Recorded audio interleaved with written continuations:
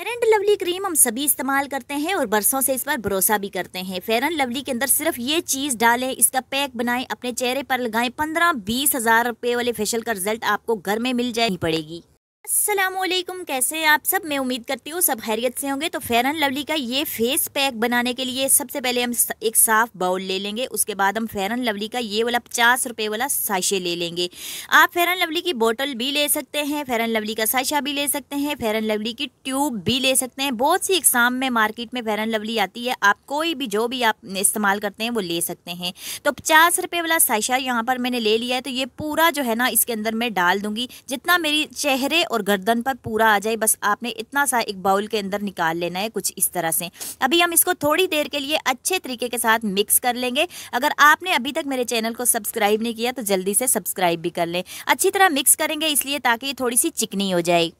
फिर हम लेंगे थोड़ा सा कच्चा दूध जो हम बाज़ार से चाय के लिए मंगवाते हैं। आपने इस फेस पैक के अंदर कच्चा दूध ही इस्तेमाल करना है, जो रूम टेम्परेचर के ऊपर रखा हुआ ना ही ज़्यादा ठंडा हो, ना ही ज़्यादा गर्म हो। कच्चा दूध हमारी स्किन की बहुत अच्छे तरीके के साथ क्लिनजिंग करता है और धूल मट्टी जो हमारी स्किन के ऊपर होती है उसको निकालता है। हमारी स्किन को बहुत अच्छे तरीके के साथ हाइड्रेट करता है स्किन को वाइट करता है ब्राइट करता है टाइट करता है। स्किन के ऊपर से जुड़ियाँ का और रिंगल्स का खात्मा करता है और एक्नी और एक्नी के स्कार्स को भी ट्रीट करता है। तो हमने फेयर एंड लवली मिक्स करके रखी थी। उसके अंदर दो चाय के छोटे चम्मच जो होते हैं, हमने कच्चे दूध के डाल देने हैं और इसको बहुत अच्छे तरीके के साथ आपने मिक्स करना है। ज़्यादा दूध आपने नहीं डालना थोड़ा थोड़ा करके डालना है, नहीं तो ये ज़्यादा पतला हो जाएगा और चेहरे के ऊपर जब आप इसको लगाएँगे तो ये आपको परेशान करेगा, बहने लग जाएगा। अगर आपको लगे कि ये थोड़ा गाढ़ा है, आपकी स्किन के ऊपर अच्छे तरीके से अप्लाई नहीं हो सकता तो आप थोड़ा सा कच्चा दूध इसके अंदर और भी ऐड कर सकते हैं, लेकिन आपने इसको मिक्स बहुत अच्छे तरीके के साथ करना है ताकि ये एक लोशन की शक्ल में आ जाए। आप यकीन जाने ये फेस पैक आपकी स्किन को इतना गोरा जिन लोगों को शौक है ना कि हमारा रंग जो है वो ज़रा गोरा हो, थोड़ा लाइट हो, उसको उनके लिए ये बहुत बेहतरीन है। हम डालेंगे फ्रेश लीमू का जूस लीमू के अंदर विटामिन सी होता है, जो हमारी स्किन को हेल्दी बनाता है। उसके अलावा लेमन हमारी स्किन के ऊपर ब्लीच करता है, हमारी स्किन की टैनिंग दूर करता है स्किन के ऊपर से मैल कुचैल उतारता है। और स्किन के ऊपर जो छोटे छोटे से पोर्स होते हैं, जिनके अंदर मैल कुचैल फंस जाती है, उसको निकाल कर बाहर फेंकता है। फ्रेश लीमू के दो चाय के चम्मच, आपने इस तरह से फ्रेश जूस निकाल कर इस पैक के अंदर ऐड कर लेना है। कुछ इस तरह से।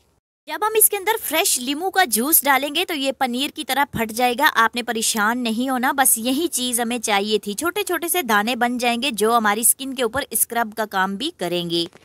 इसको अच्छी तरह से मिक्स करने के बाद आपने इसके अंदर एक विटामिन ई का कैप्सूल डाल देना है। अगर आपके पास विटामिन ई नहीं है तो आप थोड़ी सी ग्लेसरीन भी इसके अंदर डाल सकते हैं। विटामिन ई हमारी स्किन को बहुत ज़्यादा मॉइस्चराइज भी करता है, हेल्दी भी बनाता है। हमारी स्किन के ऊपर जो एक्नी के स्कार्स होते हैं ना, ये मोटे मोटे से गड़े से पड़े होते हैं, उनको भी ट्रीट करता है। स्किन की खुश्की को दूर करके स्किन को बहुत अच्छे तरीके के साथ मॉइस्चराइज भी करता है।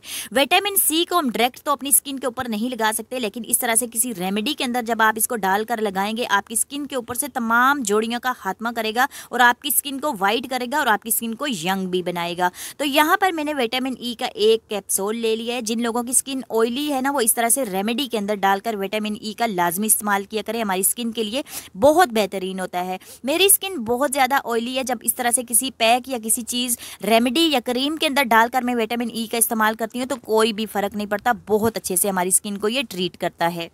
को आपने अच्छे तरीके के साथ मिक्स करना है। अभी आपने अपने चेहरे के ऊपर से तमाम मेकअप कोई भी मॉइस्चराइज़र लगाया हुआ है, उसको अच्छे तरीके के साथ फेस वॉश के साथ या साबुन के साथ धोकर निकाल लेना है और उसके बाद आपने इसको मसाज करते हुए जेंटली आपने हल्के हल्के से मसाज करना है और अपनी धुली स्किन के ऊपर इसको जब आप लगाएँगे ना, दस मिनट के बाद आप इसका रिज़ल्ट देखकर हैरान रह जाएँगे। इस फेस पैक को टेन एज बच्चियाँ भी इस्तेमाल कर सकती हैं, जो कॉलेज गोइंग स्कूल गोइंग बच्चियाँ होती हैं, क्योंकि इसके अंदर कोई भी मैंने किसी भी किस्म का केमिकल का इस्तेमाल नहीं किया है। ये आपकी स्किन को कोई भी नुकसान नहीं पहुंचाएगा और आपकी स्किन को बहुत सारे फ़वाद देगा और आपकी स्किन को इतना गोरा करेगा ना कि आपको बिल्कुल भी पार्लर में जाकर फेशियल करवाने की या कोई भी दूसरा ट्रीटमेंट लेने की अपनी स्किन के लिए ज़रूरत नहीं पड़ेगी।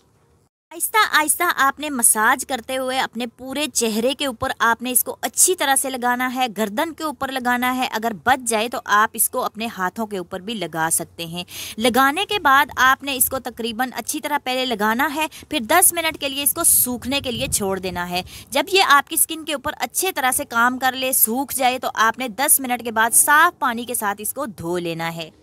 दस मिनट गुजर चुके हैं। हमने अपना फेस पैक जो है उसको धो लिया है। उसके बाद दुपट्टा भी चेंज कर लिया क्योंकि दुपट्टा गंदा हो चुका था। तो अभी आप स्किन का ग्लो चेक करें। आप यकीन जाने दस मिनट आप इसको अपने चेहरे पर लगाएँगे। आपको कोई भी फिशल करवाने की ज़रूरत नहीं पड़ेगी। कोई भी महँगा केमिकल वाला ट्रीटमेंट करवाने की अपनी स्किन के ऊपर ज़रूरत नहीं पड़ेगी। आपकी स्किन को वाइट भी करेगा ब्राइट भी करेगा। आपकी स्किन से जुड़ियाँ का भी खात्मा करेगा, गोरा भी करेगा एक्नी को भी ट्रीट करेगा। एक्नी स्कार्स जो होते हैं ना, उनको भी थोड़ा थोड़ा सा श्रिंक करता जाएगा जब आप लगाते जाएँगे तो बिल्कुल ही आपकी स्किन जो है वो क्लियर हो जाएगी इनशाला अच्छा जी, अगर वीडियो अच्छी लगी हो, लाइक कर दें, चैनल को सब्सक्राइब करके बेल आइकॉन के बटन को प्रेस कर दें। मैं मिलूँगी किसी नेक्स्ट वीडियो में, तब तक के लिए अल्लाह हाफिज़।